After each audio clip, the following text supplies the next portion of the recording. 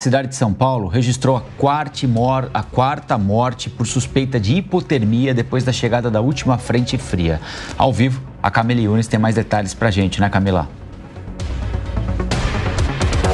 Isso mesmo, Colombo. De acordo com a nota que nos foi enviada pela Secretaria de Segurança Pública de São Paulo, um homem com a identidade não identificada foi encontrado morto ali na Avenida do Estado, na região do Cambuci, região central aqui da capital paulista. De acordo com a Secretaria de Segurança Pública de São Paulo, a Polícia Militar foi acionada e encontrou o homem no, numa barraca. E aí o SAMU logo já identificou que ele estava morto. A essa, esse óbito ele foi, foi confirmado, né?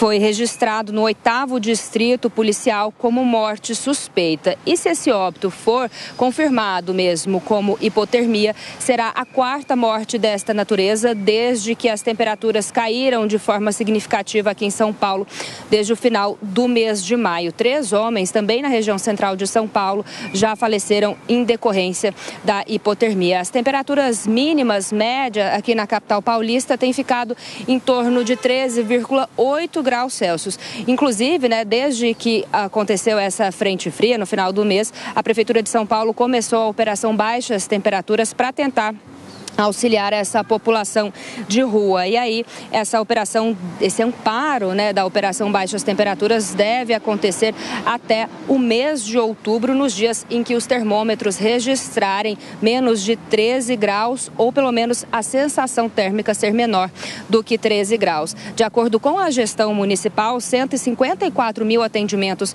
já foram realizados aí nessa operação a pessoas de situação em, em situação de vulnerabilidade social e mais de 284 mil itens foram distribuídos. A Prefeitura de São Paulo também diz que mais de 4.540 encaminhamentos aos serviços de acolhimento também foram realizados. Nós estamos passando, né, Colombo, pelo que a gente chama de veranico, quando temos temperaturas um pouco mais elevadas, né, acima, da média, 3, 5 graus acima da média, isso durante o dia, porque durante a noite aqui na capital paulista continua bastante frio e para essas pessoas que estão em situação de rua é muito mais complicado, né? Ficam completamente expostas aí ao vento, a essa temperatura baixa. Então, é uma situação muito complicada. A população de rua tem aumentado aqui na capital paulista. Uma dificuldade aí, um desafio muito grande para a gestão municipal tentar acolher e amparar toda essa população. Camille Unes, ao vivo, direto de São Paulo.